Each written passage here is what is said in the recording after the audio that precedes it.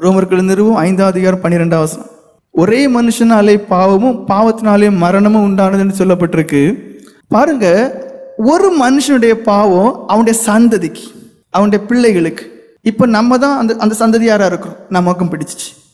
அதே போல தான் நீங்கள் பாவம் செய்வீர்களே ஆனால் அது உங்களை மட்டும் விடாது உங்கள் பிள்ளைகளுக்கும் பிடிக்கும். நீங்கள் சம்பாத்தியம் பண்ணக்கூடியதான் அதை உங்களுடைய பிள்ளைகள் என்ன செய்து? அனுபவிக்கும். அதே போல் உங்கள் மேலே இருக்கக்கூடிய சாபத்தினுடைய தண்டனையை நினச்சவங்க அவங்க என்ன செய்யணும்? அனுபவிச்சு தான் ஆகணும். அதனுடைய பலனை அவங்க உணர்ந்து தான் ஆகணும். வேற வழியே கிடையாது. சிம்பிளான ஒரு பாவத்திலிருந்து ஆரம்பிக்கும் இச்சைங்கிறதுலேருந்து. அது தனக்கும் கேடு உண்டாக்கி தன் குடும்பத்துக்கும் கேடு உண்டாக்கி வேலை செய்யக்கூடிய இடத்துல ஆசீர்வாதம் இருக்காது. வீட்டில் வந்தால் ஒரு நிம்மதி இருக்காது. அங்கே சமாதான கேடு சண்டை சச்சரவு பிரச்சனை.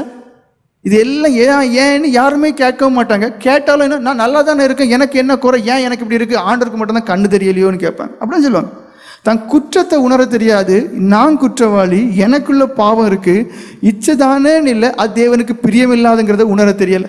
யோவன் எழுதின சுவிசேஷம் எட்டாவது அதிகாரம் நாற்பத்தி நான்கு வசனம் வசிங்க.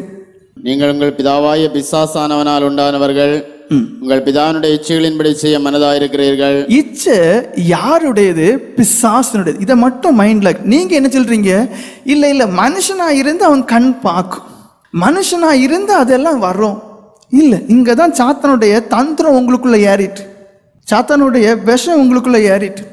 ஆனா இச்சைங்கிறதான எல்லாமே நீங்க நினைப்பீங்க அது மனுஷனா இருந்தா அதெல்லாம் இருக்கும். இல்ல இச்சைங்கிற எல்லாமே அவைகள் பிசாசினுடையவைகள். இச்சையான எதுவானால் இச்சைன்னா என்ன? ஸ்ட்ராங் ஃபீலிங் நெகட்டிவ் ஃபீலிங் ஒரு வலிமையான தீய உணர்ச்சி மிக்க ஒரு ஆசை. தீய நோக்கத்தை உடையது தீய விளைவுகளை வருவிக்கக்கூடியது. தேவ வசனத்துக்கு மாறானது தேவ சித்தத்துக்கு மாறானது தேவனுக்கு மாறானது. ஆசை தான் ஆனால் தீமையான காரியங்களுடையது. அவைகள் எல்லாமே இச்சைகள். இது யாரால் உருவாக்கப்பட்டிருக்கு? நீங்கள் உங்கள் பிதாவாகிய பிசாசனால உண்டான. அப்ப இச்சை ஒரு மனுஷனை குடிகொண்டு அந்த மனுஷனை கண்ட்ரோல் பண்ணி அடிமையாக்கி நடத்துறது அவன் பிசாசுக்குள்ள இருக்கான் உங்கள் பிதாவுடைய இச்சையின்படி செய்ய மனதா இருக்கிறீர்கள். அப்ப இச்சை பிசாசனுடையது. ஒன்று யோவான் ரெண்டாவது அதிகாரம் பதினாறு பதினேழு வசனங்களை வாசிங்க. ஏனெனில் மாம்சத்தின் நிச்சயம் கண்களின் நிச்சயம் ஜீவனத்தின் பெருமையுமாய உலகத்தில் உள்ளவைகளெல்லாம் பிதாவினால் உண்டானவைகள் அல்ல. அவைகள் உலகத்தினால் உண்டானவைகள். உலகமும் அதன் நிச்சயம் ஒழிந்து போம். தேவனுடைய சித்தத்தின்படி செய்கிறவனோ என்னென்றைக்கு நினைத்திருப்பான்? என்ன சொல்லப்பட்டிருக்கு? அவைகள் உலகத்தினால் உண்டானவைகள். எவைகள்? இச்சைகள். அப்ப இந்த உலகம் எதை தான் ப்ரொமோட் பண்ணிட்டு இருக்கு இச்சையான காரியம் தான் ப்ரொமோட் பண்ணிட்டே இருக்கு. நம்ம என்ன நினைக்கிறோம்? உலகத்துல இதெல்லாம் இப்ப நார்மல் ஆயிட்டு உலகத்துல இதெல்லாம் சாதாரணம் ஆயிட்டு உலகத்துல இதெல்லாம் இப்ப ஸ்கிரீன்ல வரதானே செய்யுது உலகத்துல இதெல்லாம் நார்மல் ஆயிட்டேன்னு. புரிஞ்சுக்கிடுங்க. அவைகள் உலகத்துக்குரியவர்கள் நீங்கள் உலகத்திற்குரியவர்கள் அல்ல. நீங்கள் ஆவிக்குரியவர்கள். நீங்கள் தேவனுக்குரியவர்கள். நீங்கள் பரிசுத்திற்குரியவர்கள் நீங்கள் பிரித்தெடுக்கப்பட்டவர்கள். நீங்கள் தனித்து விடப்பட்டவர்கள். தேவனுக்கு சொந்தமான ஜனங்கள். இப்ப ஏன் கிறிஸ்தவன் சொல்லக்கூடியவங்களுக்கு ஏன் ரட்சிக்கப்பட்டேன்னு சொல்லக்கூடியவங்களுக்கு ஏன் சபையார் என்று சொல்லக்கூடியவங்களுக்கு மேல சாபம் இருக்கு? நிம்மதியில்லாத வாழ்க்கை இருக்கு.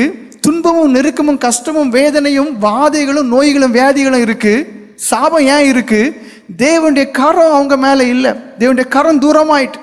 பிள்ளையாமே பாலாக்கு கூப்பிடுவான். இந்த ஜனங்களை சபியணி ஆனா சபிக்கிறதுக்கே பெயர் பெற்றுதான அந்த பிள்ளையமால இஸ்ரவேல் ஜனங்களை சபிக்கவே முடியலை.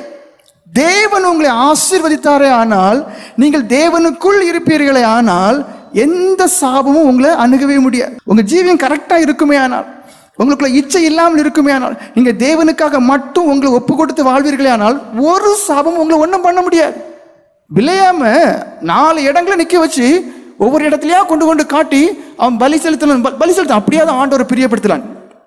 ஆண்டவருக்கு பலி செலுத்துறான். பலி செலுத்தி சபிக்க பார்க்கறான். ஆண்டவருக்கு வாயிலிருந்து வர்றது எல்லாம் ஆசீர்வாதமான வார்த்தை. காரணம் என்ன?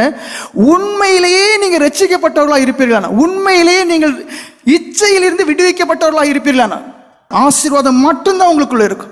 ஆசீர்வாதம் மட்டும்தான் உங்களுக்குள்ள இருக்கும். அது தவிர ஒன்றுமே உங்களை அணுக முடியாது. சாபம். அணுகவே முடியாது.